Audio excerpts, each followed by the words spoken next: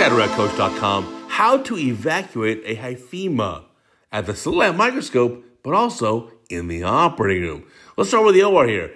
Very dense, clotted hyphema. Look how dark it is, blocking the pupil 100%. This patient had basically no useful vision. Starting off with a paracentesis here. Now, this is a resident who's operating, and we're going to do a surgical evacuation of the hyphema via two paracentesis incisions. So one pair is done. Here's another one. This is done in the operating room. And now think about this. How should we set up our machine in order to prevent any issues such as iatrogenic cataract formation? So, number one is high infusion pressure. Put more fluid in the eye than you are taking out of the eye to keep the eye inflated. Now, by the way, look, it's not a bimanual IA, it's a bimanual vitrector. Because the clot there, the clotted blood, is very thick and you just can't aspirate it. You need to have the vitrector. Now look at that. Because we're using a high infusion pressure and a lower aspiration flow rate, the AC stays deep. Look how deep the anterior chamber is.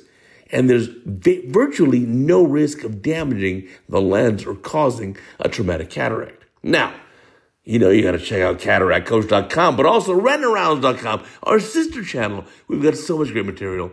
You need to check it out. Even if you're a cataract surgeon like me, it's great material that you will learn. Now, finishing up here, again, one hand is infusion, the other hand is aspiration. And look at that. You clean up the hyphema. Now, another little pearl here is you can also put some epinephrine inside the eye.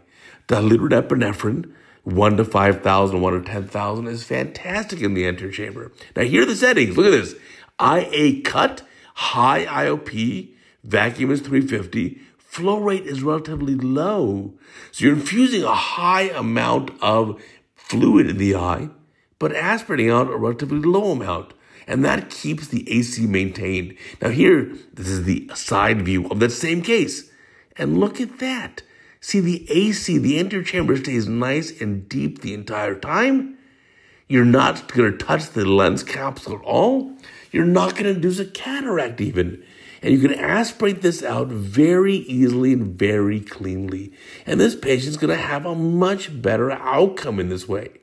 Now, could the patient still develop a cataract down the road? Of course, of course but highly unlikely because you're not going to damage the lens capsule or touch the, the lens at all in this case. And again, look, the AC is maintained nice and deep because we are smart. We follow cataractcoach.com and we know how to choose appropriate fluidic settings on our machine here. And now here's that last clot. Look at that. Aspirate, aspirate, aspirate, pull it out of the angle. And once you've freed it up, use a little bit of the cutter there on the anterior vitrector and aspirate that thing down. And now look how beautiful this is. This patient who came into the operating room with essentially no vision, complete blockage of the visual axis by that dense cataract. I'm sorry, by that dense hyphema, now has a clear visual axis. By the way, the epinephrine that we put in the eye to prevent any rebleeding has caused some pupillary mydriasis. That's okay.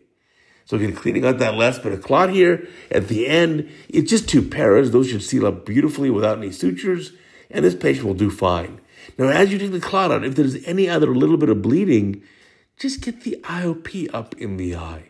Get the pressure up a little bit, and that'll help tamponade it. And again, this patient had a beautiful result. So here's an example of a traumatic hyphema, very, very, very dense hyphema, thick clot, blocked the vision, Go to the operating room, evacuate it. Now look at that. The patient's going to have normal vision the next day. So beautiful result. Now, the other case I want to show you here is from coming up from Professor Ayala in Tampa, and this is how to do a hyphema evacuation at the slit lamp microscope. Now, hyphema there, you can see the pressure's way up. Here's the technique. Watch this. So first thing is injecting an air bubble in the eye. Now that gets the pressure even higher.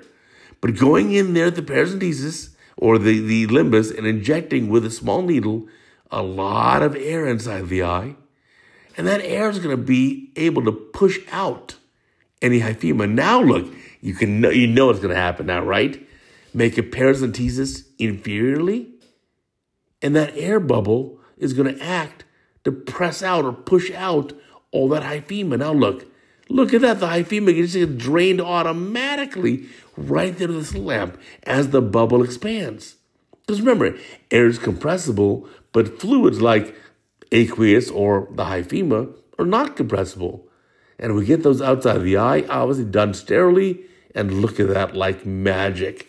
Couple days later, looks beautiful. Fantastic result. Anyway, check out retinarounds.com, our sister channel. I promise you're going to love it.